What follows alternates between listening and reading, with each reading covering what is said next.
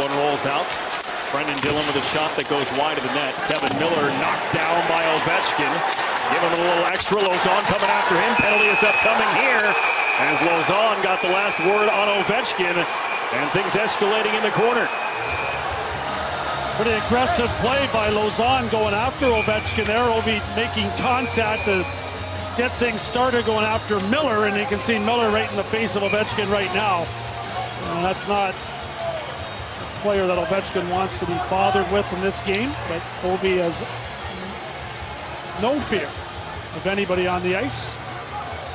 Things starting to heat up here after the Capitals take the one goal lead. Here's the contact right there. Ovechkin bullying Miller right there with a hit from the backside. Lauzon doesn't like it. He goes aggressively after Ovechkin.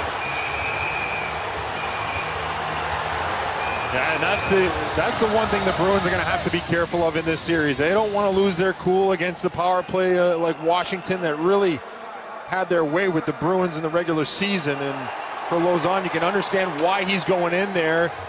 It's about defending his partner in Kevan Miller, but this is not something you want to get into the habit of doing, putting this Washington team on the power play by retaliating.